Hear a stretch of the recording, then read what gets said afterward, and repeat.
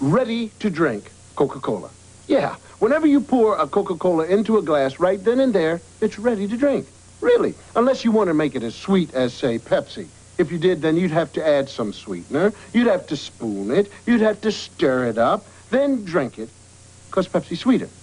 See, that's the beauty of Coke. The only thing you have to do to make a perfect Coca-Cola is pour it. Maybe add some ice. Ready to drink Coca-Cola now. Coke is it.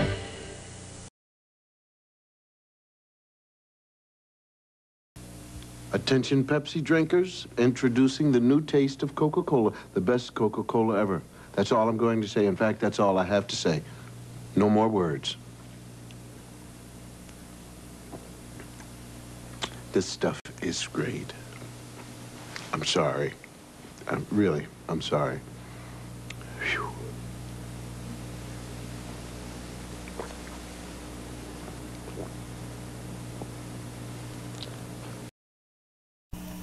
Can you believe it? They're still doing it. Look here, these guys had a taste test against Coca-Cola. They did too. These guys are still at it. And these guys compared themselves to Coke. All those colas going around comparing themselves to Coke. Now, maybe that's why they call Coke the real thing. Refreshing, delicious, ice-cold Coca-Cola. This is the one that makes me smile. Just like that. I saw you. She saw you too. See, look, they were smiling. See?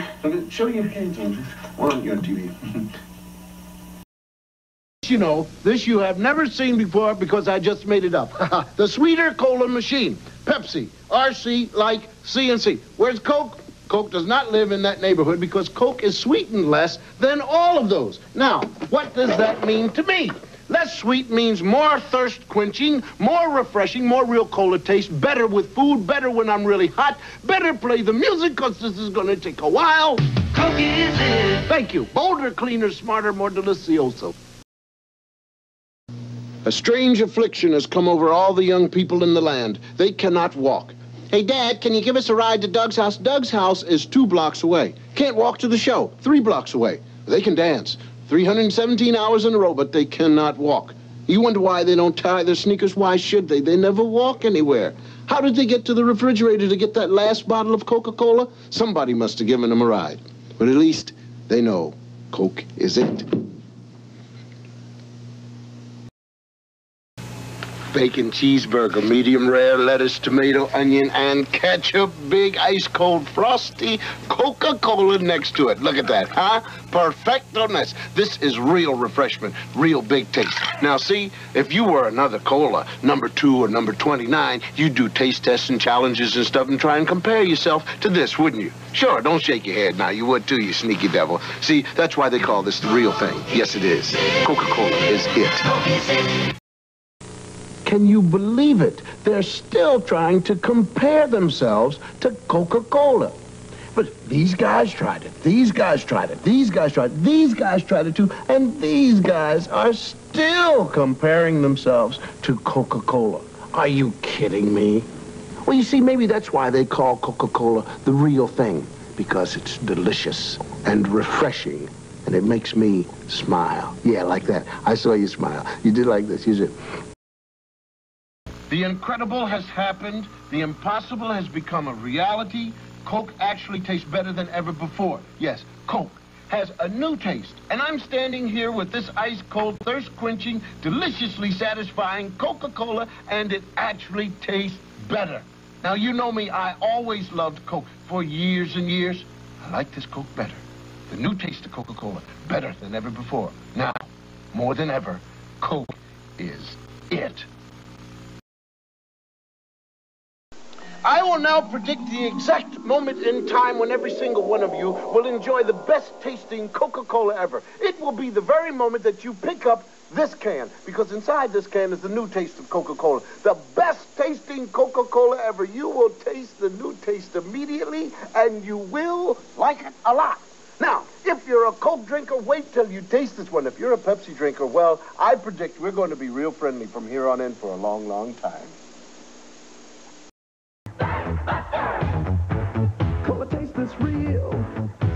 natural deal. Ow, who you gonna call? New three-liter Coke, the Thirst Buster, the biggest bottle of Coke around. Hey, you don't want to run out of Coca-Cola. Get Thirst Buster and save. I ain't afraid of no thirst. Who you gonna call? Thirst Buster!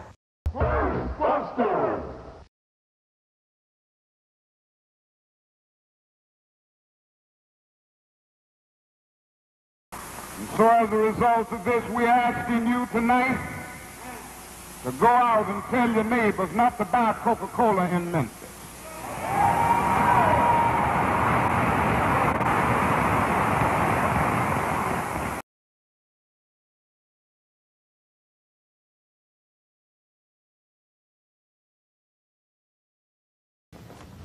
I think one of the greatest untold stories of the 20th century is the collusion between corporations, especially in America, and Nazi Germany. First, in terms of how the corporations from America helped to essentially rebuild Germany and support the early Nazi regime, and then, when the war broke out, figured out a way to keep everything going. So General Motors was able to keep Opel going, Ford was able to keep their thing going, and companies like Coca-Cola, they couldn't keep the Coca-Cola going, so what they did was they invented Fanta Orange for the Germans. And that's how Coke was able to keep their profits coming in to Coca-Cola. So when you drink Fanta Orange, that's the Nazi drink. That was created so that Coke could continue making money while millions of people died. When Hitler came to power in 1933, his goal was to dismantle and destroy the Jewish community. This was an enterprise so fast that it required the resources of a computer. But in 1933, there was no computer. What there was was the IBM punch card system, which controlled and stored information based upon the holes that were punched in various rows and columns. Naturally, there was no off-the-shelf software as there is today. Each application was custom designed, and an engineer had to personally configure it. Millions of people of all religions and nationalities and characteristics went through the concentration camp system. That's an extraordinary traffic management program that required an IBM system in every railroad direction and an IBM system in every concentration camp.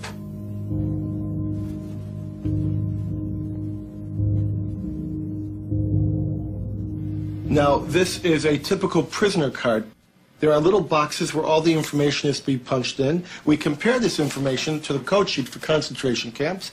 And here you see Auschwitz is one, Buchenwald two, Dachau is three. Now, what kinds of prisoners were they? They could be a Jehovah's Witness for two, a homosexual for three, communist for six, or a Jew would be eight. Now, what was their status?